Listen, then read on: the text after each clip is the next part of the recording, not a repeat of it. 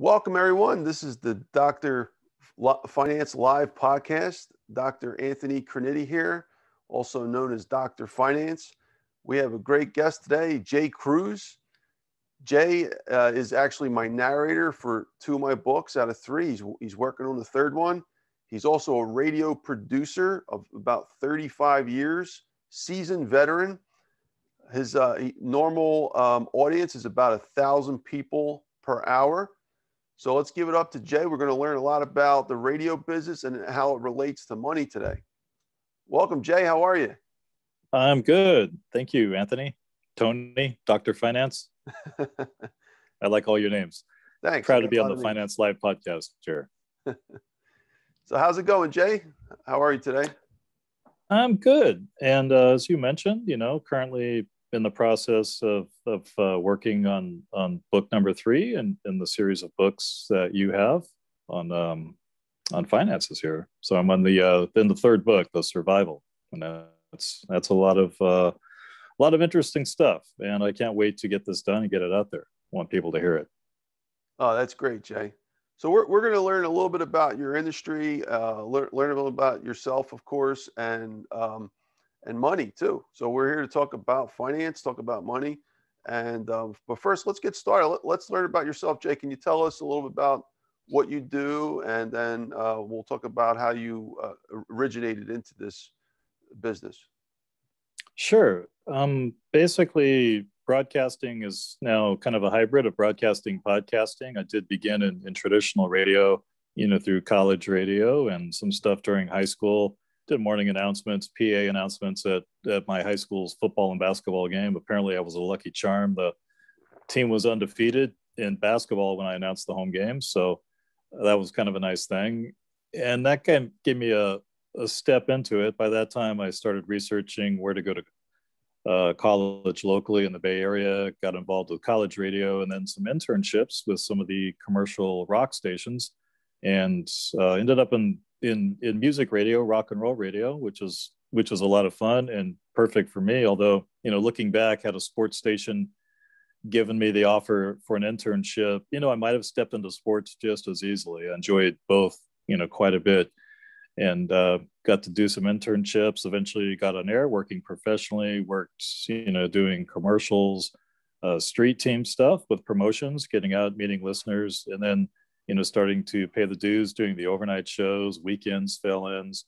Uh, I got my first on-air gig in Monterey, and then moved up to the San Jose market, where I, you know, pretty much worked through the '90s at a couple of the big rock stations there, and uh, got to learn a lot about it. You know, just by being around some great people, you know, seeing a couple format changes, seeing other stations come and go, and you know, it was also nice that I grew up a fan of those radio stations and got to work for them too. So that ended in the 90s. I wasn't in radio for a little bit of time, and I moved to Southern California, where I was where I was born, but essentially grew up in, in Northern California, and came down here kind of to be near the beach, find change of life. That's when it was with uh, radio and stuff. I mean, obviously we were sending emails and things like that, but the the uh, media and stuff, you know, getting radio, podcasting, uh, streaming services were just starting. So I sort of stepped in in automation in the thousands and have been going with internet radio since. And there's a lot of similarities, but there's some differences too between broadcasting and podcasting, if you will. Okay, great. So, so Jay, you were originally from Northern California, and then you came down to Southern California. What, what was your first radio gig that you had?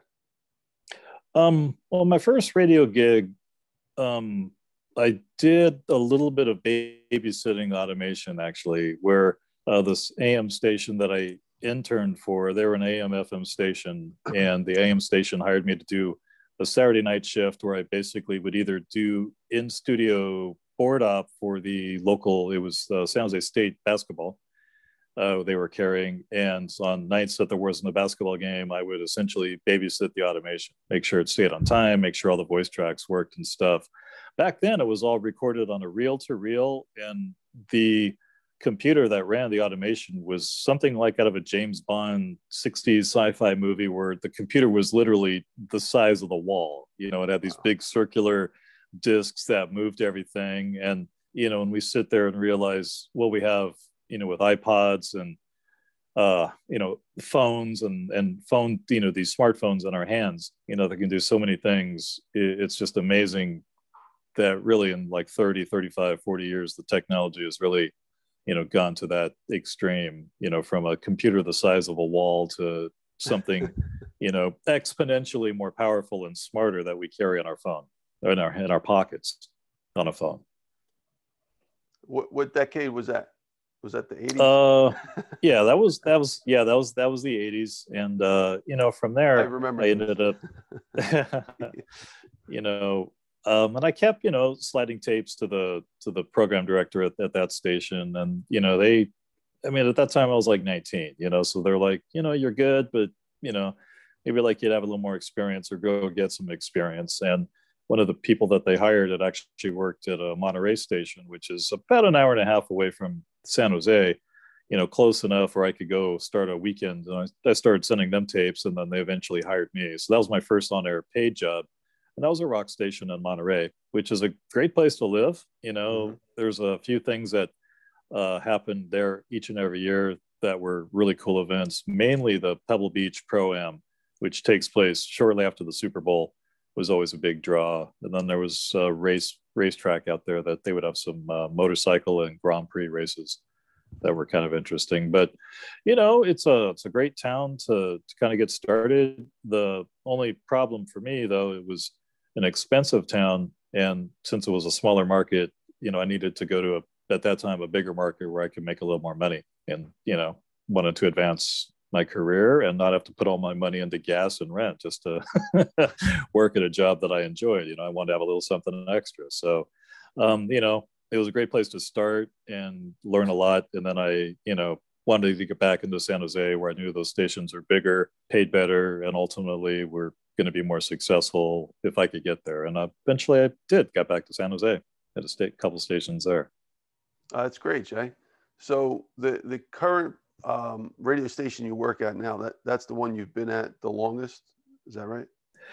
Yeah, it is. Um, I've been here since late 2000, and we started in late 2002. It was October of 2002 when um, HealthyLife.net began began streaming, and a couple years after that, we went to 24/7. But I've been here since 2002. It was kind of interesting that I was came down to Southern California really without a without a really a, without looking to get back into radio or broadcasting because at that time the late 90s I had now done a number of years of it since you know college in the 80s working through the 90s you know now I'm like 15 years into it. And uh, the stations I was working at they were bought sold and I was you know laid off let go. Uh, furloughed, any of those fun words you want to do. But basically, I was no longer employed by the station and no longer in radio.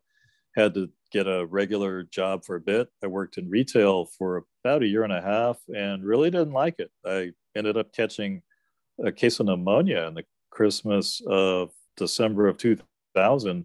And I swore I would not be there for 2001 to catch pneumonia again, being overworked, and started making plans to to change my life. And and do something to make myself happy. Figure at that point I was in my 30s and it was a good time to reassess the next phase of my life. Figured, okay, radio was fun, had a great time, got to meet a lot of cool rock stars, got to get paid for what I do.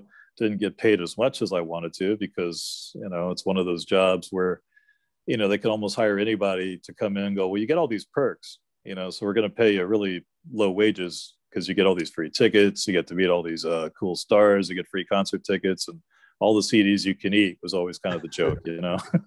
but I've been here at HealthyLife.net uh, since 2002, and it's a little different. You know, it's mainly a all talk station, and you know, also we're positioned as the all positive talk station where we don't don't get into a lot of the controversy and stuff where you know a lot of traditional talk radio will you know they'll take subjects a that they know that 50% of the room is going to feel one way and 50% of the other might feel the other way and they just you know sit there and get all these great phone calls from listeners who are fired up and passionate about whatever it is they're talking about who want to throw in their opinion or maybe want to counteract what the last guy said And uh, anyway, we don't do that here. We allow our, our guests and hosts to kind of go into detail with what they do and, you know, try to explain things, you know, with a solution instead of just stick, you know, trying to kick up more controversy because we can find that any day of the week, almost anywhere we look. So it's been rewarding thinking that the people that listen to our station get something out of it and it benefits their life or it can benefit somebody they know, you know, and get some good out of it. So it's kind of rewarding to be able to give back and, um, you know, not just playing records, although nothing was wrong with that. This way is, you know, a little more involved and a little more, uh, a little bit more passionate and in, in helping people tell their stories and getting into that. You know, even all those years in the rock radio years, well, it was a lot of fun. You know, at some point, probably the epiphany hit me in the middle of the night going, you know, these listeners don't necessarily care about me so much, but they love the records that we're playing. You know, I didn't write any of these Led Zeppelin songs or any of these classic songs that we're hearing. So I'm just the guy who gets to play them, you know. So uh, being involved in talk radio, you you have to create more. You have to create the story. You have to write it. You have to you know create your own content instead of just pushing a button and going, "Thank you, Rolling Stones." if it wasn't for that song, you know, we wouldn't have all these years of of, of followers on our station. So. So, so Jay, um, what role has money played in your uh, career? Like um, starting from the beginning, has it has it helped or hurt you? I mean, were, were you able to? Well, let's go with that first. yeah, yeah, no, definitely, and you know that's a that's a great point. You know, this is, you know, there are a lot of people who can make a, a very good living in, in broadcasting, radio, voiceovers, and stuff, and a lot of people that you know maybe you know struggle or or what have you. I think I don't know if I would blame it on the industry myself. I think at the time when I first got into it, uh, you know, looking back, I would have definitely advised myself to have had a, a, second job along the side or have done something else so that radio wasn't my only. I didn't have to depend on that for my my only source of income. You know, it would have been better to have had something on the side. But at the same time, I was also the first guy, the first guy that they would call for uh, fill in because I didn't have a second job. You know, so there was a lot of things that went good with it, things that went bad with it.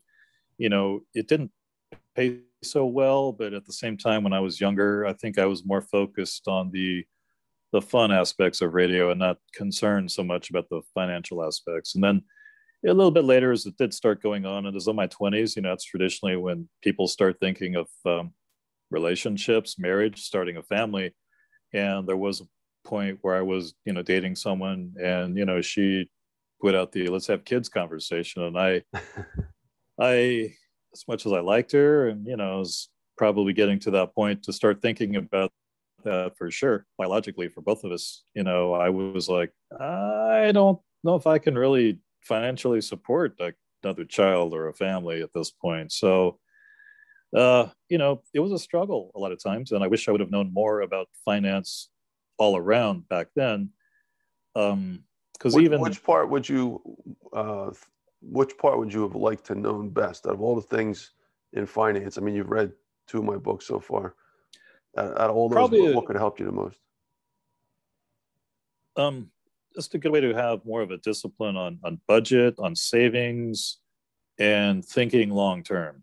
Definitely, it's it's tough to to think long term sometimes when you're young. You you want the shiny object and you know i was in a i was in an industry that was that was fun and that's probably part of what attracted me to it you know it was a lot of a lot of go go go concerts um tomorrow's show is going to be better than yesterday's show and and it kind of really kept going and as it it kept going you know more and more things would happen and then just you know you think well someday i'll get a raise and then uh, you know at some point you're just kind of capped at that certain level and you know, I wish I would have known more how to how to save and invest. Maybe find some other ways to make money, you know, that are out there, which uh, you know that involves you know investing, passive income. Uh, again, planning for the long term. You know, planning for things. You know, taxes isn't long term, but we got to deal with that every year, and that's long term enough. You know, yeah. as opposed to this weekend's this weekend's fun or this weekend's event, as opposed to taxes each and every year. So, you know, that was uh, definitely wish I would have known more about that. definitely planning more on long term and some maybe ways to find money work for me, you know. Mm-hmm. And I probably had known some of that. I probably would have been more. My ears and eyes would have been a little more open to finding the connections that maybe would have came around, or I may have met somebody along those years who may have said, "Hey, you know, maybe this was an opportunity for you in addition to what you're already doing." So, um, and I knew some people that also, you know, had moved into the area and had come in with another full-time job and looked at radio as their part-time job. I never looked at radio as a part-time thing. It was for me, it was all in. I was going to do broadcasting, radio career, and try to learn all aspects about it. So, you know, maybe looking back, I think having a, a secondary plan would have been good, and and then you know, again, some long-term investment stuff like that would have been nice nice to have known too. I think back then I thought an investment was more like betting on a football game. You know, and that's that has a lot of excitement, but I wouldn't suggest that for many people. oh yeah, you know, it, this is uh, this is actually a common theme. Do, do, would you think that a lot of people in your industry uh, had the same uh, outlook or the same same issues that you encountered? Yeah, I definitely think so. There was especially a number of people, and, you know, actresses and all the, all the artistic type uh, people out there. Absolutely, absolutely. I think I heard a statistic from an actor that said something like 90% of the actors technically aren't working. They, you know, they're auditioning all the time. And, you know, there's a big kind of stereotype joke, you know, when you, when I first moved to LA, it was tough to find a job. And I was like, you know, do they just not want to hire me because they think I'm going to work here until I find, you know, my, my big thing, whatever it is I'm really here for, my dream, if you will, you know, to chase movies or, you know, get into the record business or, or radio or whatever it is. So you know, I think there's a, you know, a lot of people that, you know, when they get here to Hollywood, they, uh, you know, find it tough and have to have a second job and maybe don't make it or don't know these things, you know, when they get there. They think they're just going to show up and, and uh, everything is going to go right for them. But, you know, that's if you move anywhere, those things are going to be tough. You need connections, you need inroads into it. You know, entertainment, creative stuff seems to be uh, I don't just because I've dealt with it a little bit, you know, through my whole life. You know, it seems I don't know if tougher, but it seems that there's more people that would rather make money doing something creative because they think it's fun, as opposed to, uh, you know, people signing up for maybe good paying jobs that provide stability, but just aren't exciting and sexy. You know, I mean, I know a guy who's made a great living providing for his family and has a great retirement plan selling insurance, but you know, he sits there and goes, ah, I wish I would have done some of the things you did, you know? So, you yeah, because they're not passionate about I'm like, I wish I would yeah. That's a great point. You know, so, you know, um, and a, and a friend of mine that I've known since high school, we had a conversation just last week too. And he, you know, he said, he's like, Hey, just keep doing what makes you happy, you know, don't, you know, you got to take care of yourself, but being happy is important too. So, you know it's finding a finding a happy medium in there as well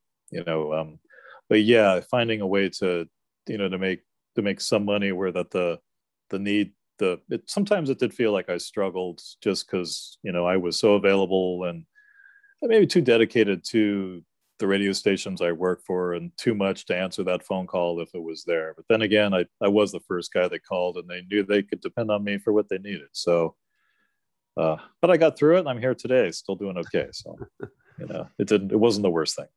Would Would you say that this is something that you're passionate about, though? Is that why you really stayed the course? Because you you love to do what you do, unlike your friend that um, you said about, uh, I believe, in, the insurance guy, or, mm-hmm. right? Oh, I absolutely. I think um, you know, I mean, I I enjoyed I enjoyed a lot of stuff on you know radio and television, but spent a lot of years listening to radio. My mom gave me a transistor radio when I was when I was very young, and I'm uh, a bit older than my younger sister. She's six years younger than me, so you know I was a, and then when she was still a baby, that's when I was really listening to a lot of you know radio AM FM, a lot of baseball and stuff. So the radio became my friend. I would get home from school, do some homework, put on the radio, I would catch a baseball game or you know football something, and then you know spin up and down the dial and find a you know find a song I like. And there was something about it that appealed to me and friends of mine we started playing around with with uh, tape recorders and you know trying to create our own little radio skits and stuff like that and you know somewhere along the way it definitely decided that it was it was in my blood either the entertainment aspect the com- comedic aspect or you know just you know also being able to to talk to people and interview people as a reporter. You know you can go up and ask people questions and, and stuff like that and not and not feel like they're going to turn you away you know? You have an ability to you know to and to provide a service for people that have a story to get out there. So um you know i didn't have a lot of other ideas of things i wanted to do you know getting up in high school.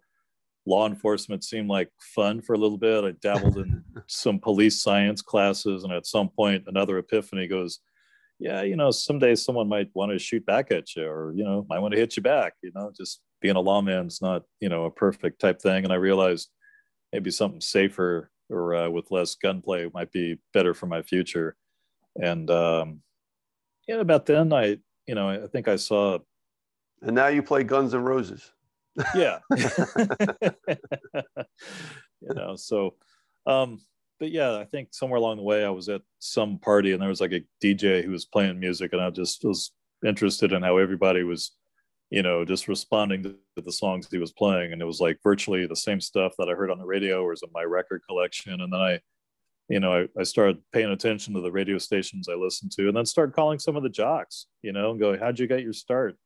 And a lot of them, you know, they told me to go to a couple places and I, you know, took a lot of their advice. And then it was really cool years later when I, you know, got to work with them and go, Hey, Jim Robinson, do you remember me? I called you when I was like 17 and you told me to go to this college and Hey, here I am. I'm doing the shift right after you. So, you know, it was, uh, it was just kind of cool to, to kind of go through that, but I've always had fun. It's, it's in my blood. I even told people like when I was still in college and trying to get to a point where, where I could get paid and it could become a profession. I even told friends, I go, you know, if I never make it, I'll just find a regular job and I'll just work at this uh, volunteer community college station because this is a lot of fun.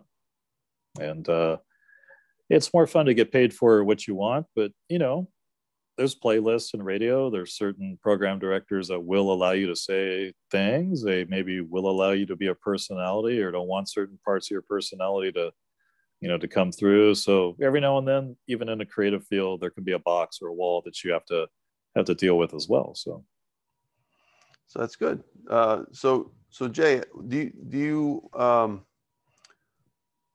what, what, what's your thoughts on the, the future of the radio industry? Knowing that, you know, what's, uh, there's a lot has changed with radio. Now we have podcasts, you're on a podcast. Everyone's doing podcasts with the internet. Um, they have Clubhouse now, the, uh, the app that, that we're on, um, mm-hmm. speaking a lot. So, we're like there's so many different forms of um, uh, ways to express the vocal language where, where does that leave radio well i think it's becoming it's kind of growing more into a, a communication medium for voices and not so much you know back then it used to be a way to you know the music industry would you know give records to the radio stations and before the internet or certain other things or MTV even, you know, to flash back to the 80s one more time, you know, even other channels that would get music out there, you know, that's where people found music. Now you can go to a thing like any app, like a Spotify, a Pandora, Apple Music, any of these type of things. Right. Mm-hmm. Uh, you can go to a band's website, you can go to YouTube Music. There's a bunch of different musical aggregators out there. And, you know, listening to, say, the big station in your town to hear new music isn't really going to happen anymore. So musically, there's a there's kind of a big stagnation. Uh, record labels aren't really signing and promoting bands like they used to. You know, it's a lot more self promotion. So you know, podcasting and and a lot of talk and sports radio is is really the future the current and the future you know i think a lot of stuff like peer-to-peer podcasting or interviews is is very fun where you know you can have an athlete you know, there's a lot of NBA players who, when they're done with their game, they'll go back to their hotel room and they'll interview a guy on their podcast from another another team and talk about what it's like being in the NBA, or maybe they have a you know something. But it's like if you're a, a fan of that industry, like on your situation, on the Finance Live podcast, people want to find out more about finance or want to find out about you or some of the other guests that you have, want to find out more about, you know, financial and economics, you know, this is a great way to hear a couple people back and forth talking about finances, ec- economics. Um, like the drummer of Metallica, he does a great job interviewing other rock stars and talking about rock and roll stuff. And if you're a fan of rock and roll, you're like, yeah, I want to hear Lars's podcast. He's talking with another musician today, and oh, yeah, they have some stories, and you know, so there's there's that to it where it can be entertainment, or you know, it, it still needs to be entertaining, but can be more educational and informative. And I think a lot of people that are stepping into you know uh, independent podcasting or broadcasting are are telling stories, have a lot to offer, have been professional people throughout their life, and have a lot of experience, and maybe more than some of the experts that we see, you know, on TV and stuff. Like Dr. phil's a well-known person, but maybe there's a better psychiatrist for or psychologist or whatever it is that he specializes mm-hmm. you know for other people but you know because he's on tv he he gets that but there's a lot of people that can give just as good or maybe better for certain people advice um, you know so i think people are really getting into it because they, they want to help or give back or you know reach out to you know tell more about their industry and what some of the benefits are and what how they can really help people you know and i think um, you know getting out through you know podcasting and talking to other experts in the field is a great way to do it. And you know it also kind of does help promote business a little bit. You know if you're a, a chiropractor talking about chiropractor stuff and you know someone happens to see it or does a search on youtube and you happen to come up for whatever it is that you do you know they'll they'll go to you first and maybe you know go to your website or contact you for you know goods and services or information from there. So you know a lot of people i think are having fun with it but also it's a it's it is a good way to market and and get your name out there and let people know you know what what you do and and your expertise in whatever field it is. So that's what i think is is going to be the future.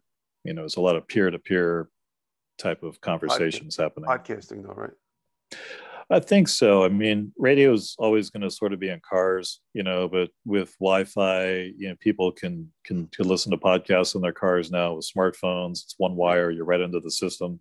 You can listen to it through any of your favorite aggregators. You can download it, you know, and stuff like that too. And then and then audiobooks are another thing that's getting into cars too. So, um, you know, there's just a, a lot out there, but I'm seeing it being more, um, you know, creative content by people conversely instead of you know the the music music stuff. Music's gone more to live performance and then even the last year that got squashed with the pandemic it's starting to open up again. But you know for the last 10 15 20 years record sales have been down and bands have been making money by going out and touring you know and people are you know people are happy to go out and see a live show.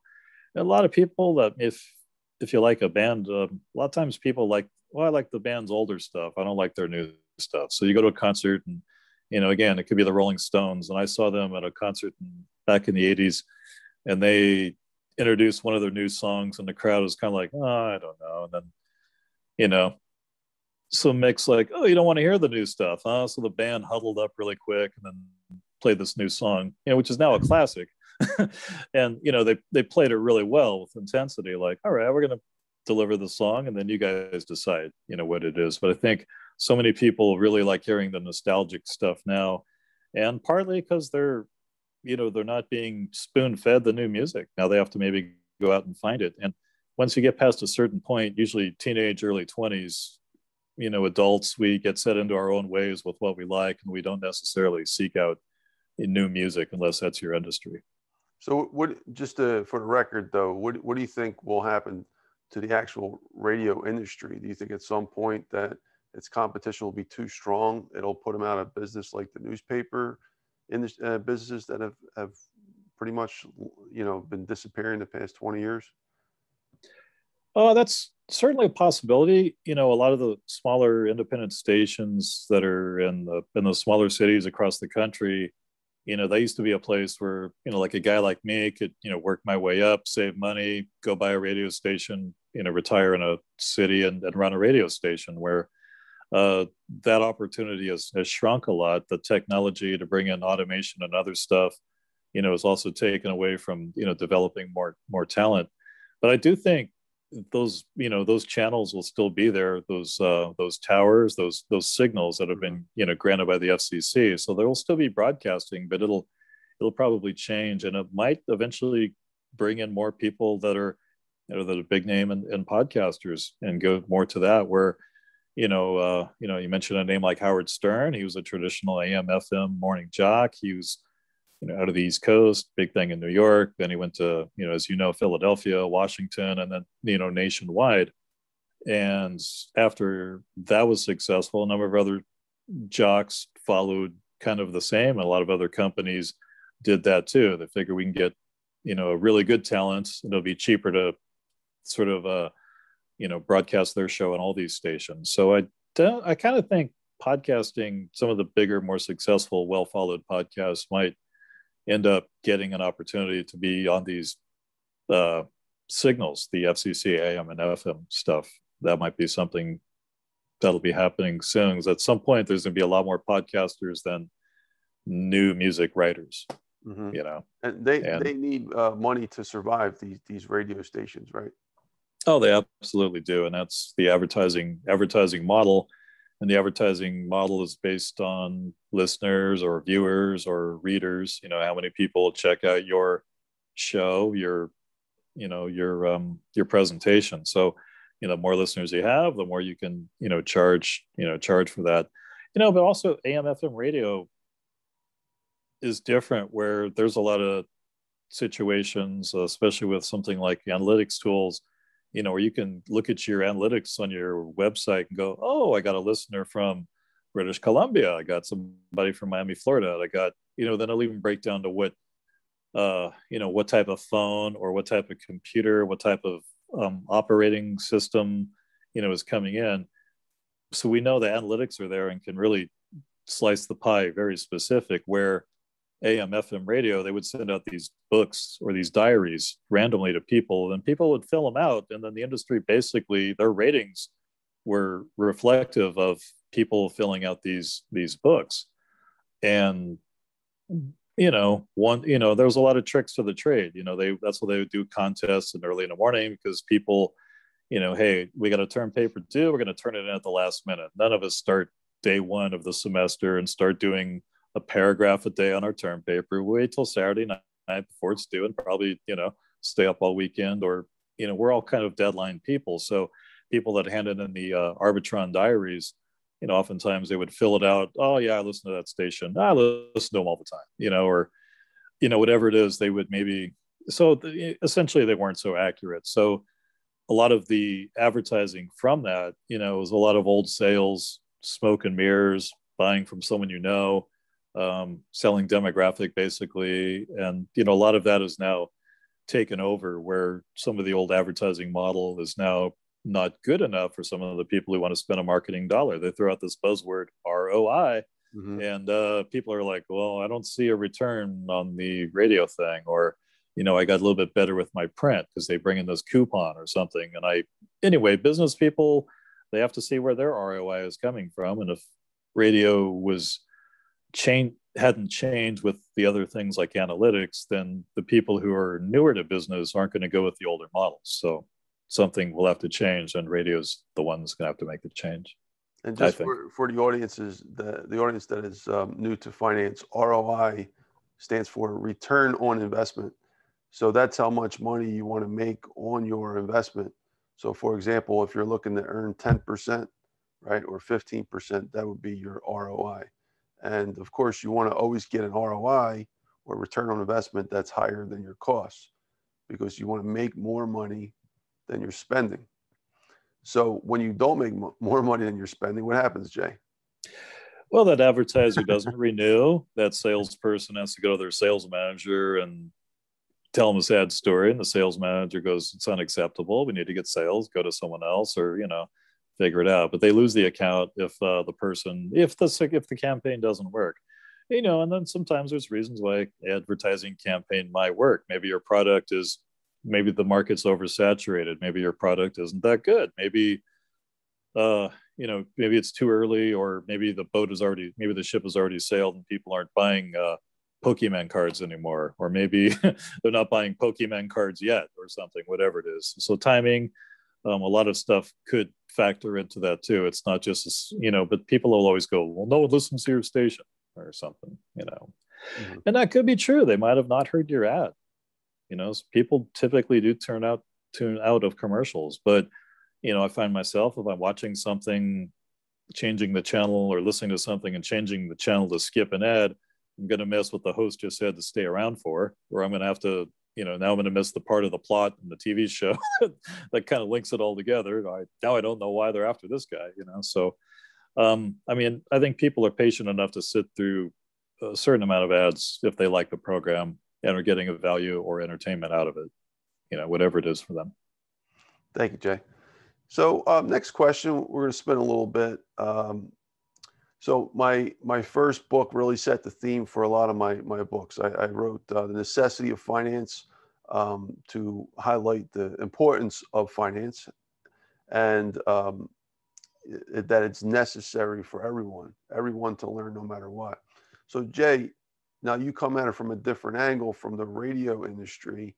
Um, would you say that that that uh, statement holds true for yourself and your business that you that you've entered uh, that uh, for businesses in the in the radio industry would you say that that they need to also understand the basic lessons of finance as well? Absolutely. You know a radio station needs to figure out i mean there or there's you know there's cost for a lot of things. Uh, one of the biggest costs was uh, talent. You got to pay you know howard stern's good. He brings a lot of listeners. Got to pay howard stern. Howard stern's or any talent smart enough to go oh if you're making x amount of dollars off me i deserve at least 0.25 of x or whatever it is. Yeah. you know if you're making millions off me i deserve a cut too. So um, there's a lot of other expenses but there's uh, you know many ways that you know there's but there's also investments in the business too. So it's a matter of being you know being smart and maybe uh, you know paying for the things you absolutely have to have. And you know there's some ways to to, to develop you know talent too. You know maybe if you know a company maybe doesn't think they can afford you know top line talent but maybe they can hire a coach to to find people for them and stuff. So uh, definitely ways ways to do that. But you know there's a lot of a lot of people that that you know spend foolishly on things they don't need you know whether that's uh, you know radio stations a lot of times it could be an office space you know? You really don't need much else for a studio other than a microphone and some processing and, and recording equipment where you know some stations might think oh we need to have big fancy office space and maybe they're spending way too much for you know if they cut down on a you know an expense like that they could actually put more money back into their air talent or the infrastructure of the station they have to pay and then part of the thing in radio too, they have to pay the licensing to the music that they're playing. You know, again, uh, these musicians and the labels, they, you know, they write the music, the labels hand them out to promote it, but like, um, they also deserve to get paid for the airplay, you know, so they get paid royalties and stations have to, you know, pay for that a little bit. It's kind of unfair for a station or radio in general, an industry to sit there and take money from an artist or to make money off an artist who's creating something, trying to, you know, of course they want to sell records and concert tickets or what have you, you know. So for as a radio station to make a lot of money and not pay the artist for providing essentially what makes the radio station the radio station, you know, if you're the classic rock channel and all these musicians have made all this great music for all these years and you're making money off it, they certainly deserve, you know, to be to be paid and compensated. So um, that's another one of the biggest expenses in in music radio is the licensing for the music. Uh, they have to pay the royalty fees, and that goes to the publishing companies who divvy that out somehow. Uh, so you know, definitely finance and all ends of, of radio and and all other media very important, just like any other business and any other venture in life. Excellent, excellent. Thank you, Jay. So, um, we only have a, a, few few more minutes left here, Jay. I know you got to get going. So, um, in the in the radio industry, do you considering the difficulties of becoming successful like yourself? Uh, what, is there any tips that you can offer to uh, new new entrepreneurs or um, people who are younger that or just getting into the business that want to become a major radio producer uh, like yourself? Uh, yeah, I would offer a, a couple things. Number one, if you're if you want to, you know, kind of decide what avenue you want to do the best. If you want to be a personality on air, you know, work on that. You know, work on your your diction, work on your vocabulary, work on your your voice presentation, and and those things. If you want to be a producer, you know, work on meeting people, work on talking to people, connecting with people, and making sure you stay in contact with them. It's not it's no good to get a bunch of business cards or a bunch of emails and not follow up, or or just follow up to to push your your business. So you want to you got to build relationships. And back in the day, they would they would look for producers, and in the ad they would say, basically, we're paying for your Rolodex. We want your contacts so you can help our station or our morning show grow. So, um, you know, stay in contact and keep in contact with those people. Build that uh, Rolodex or that contact base. Email list nowadays is the new Rolodex. um, you know, if you're a personality, you know, you know, work on work on that. Always work on, you know, um, being better at, at presenting yourself, increasing your your ability to speak, you know, vocabulary wise, and and the other thing too is you know you want to be kind of want to be confident in what you are and who you are and what you're going to present. You know, like in your case, Tony, you're finance professor. You have an amazing finance background.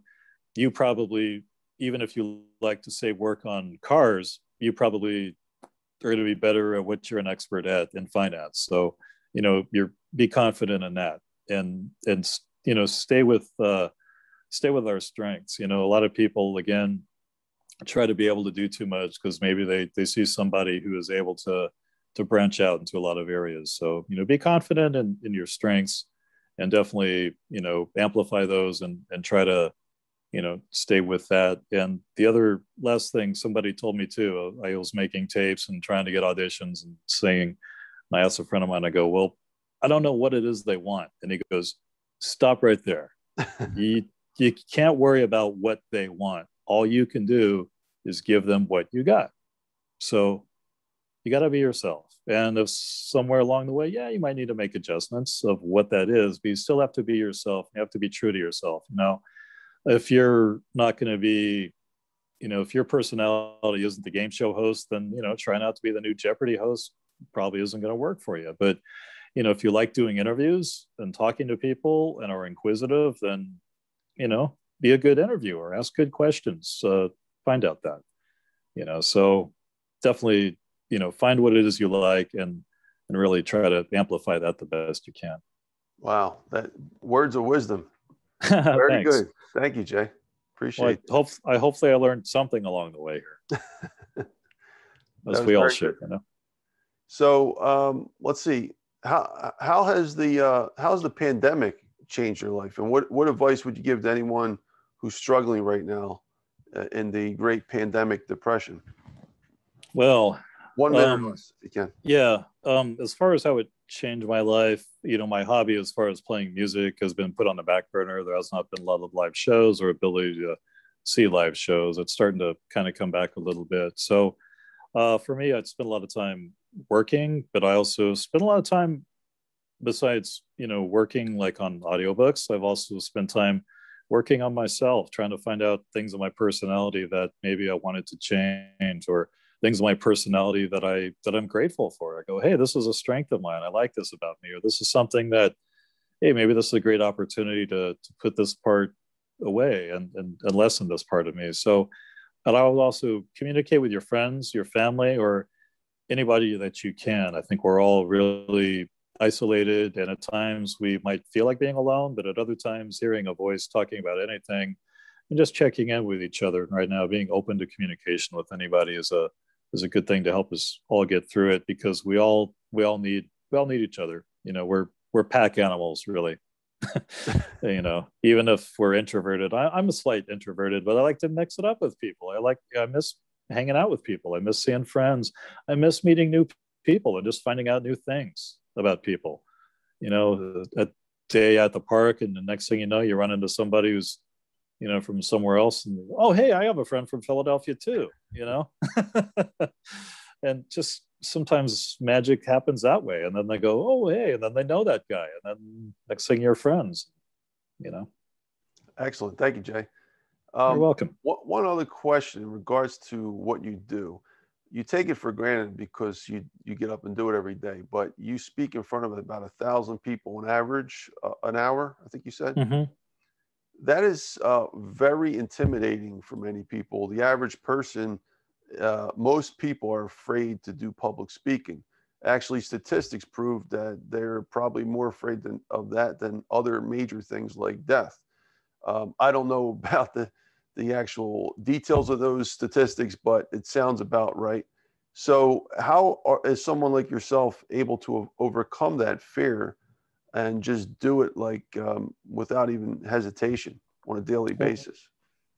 Well, it at some point I realized, you know, I was kind of a shy, introverted kid, but there was a girl who was in a class of mine, you know, uh, when we are trying to decide what we're doing. It might have been the career decision making class. And she turns around, she goes, You and radio, you hardly even talk to me during class. How are you going to talk to a bunch of people? So I realized I didn't need to overcome that. And uh, the next semester, I took a speech class, you know, same English teacher at my school and you know started stuff like that but i would take any opportunity to get up in front of a small group or semi larger groups you know back in school i was always the first guy to you know, the teacher would ask a question, I would always kind of blurt out the first answer, figuring if someone gets the ball rolling, other people will jump in, and then I wouldn't have to be wait around to be called on, you know. So, mm-hmm. and and half the time I would be right, and you know, you could just move on. But I would I would have people, you know, talk to as many people as they can. If you're involved in a you know church or a worship, you know,